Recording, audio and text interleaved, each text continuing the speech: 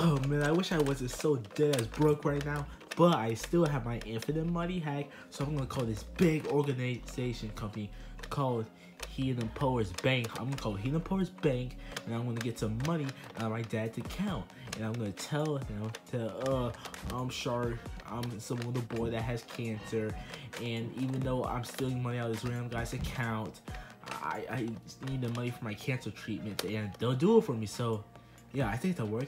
My infinite money hack is about to work once again. I got millions off of you last time. Okay, let's try this. Do do do do do do do do. Yeah, is it Heathen Powers Bank and Trust?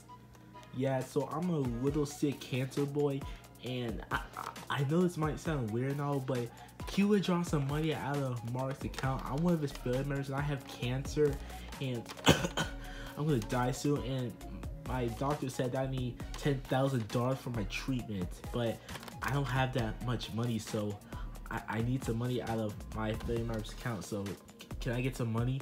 Okay, sir, you can, but are you sure you're an actual sick kid and not just some guy trying to scam us out of some money, Cunty? You kind of sound like Mark's kid. Yes, I'm obviously a very sick boy.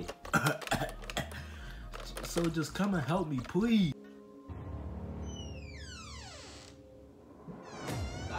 Sharke?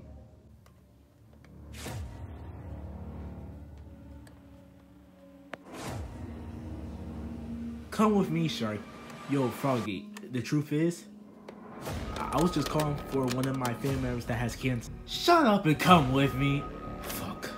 Mark, I'm going away for a while.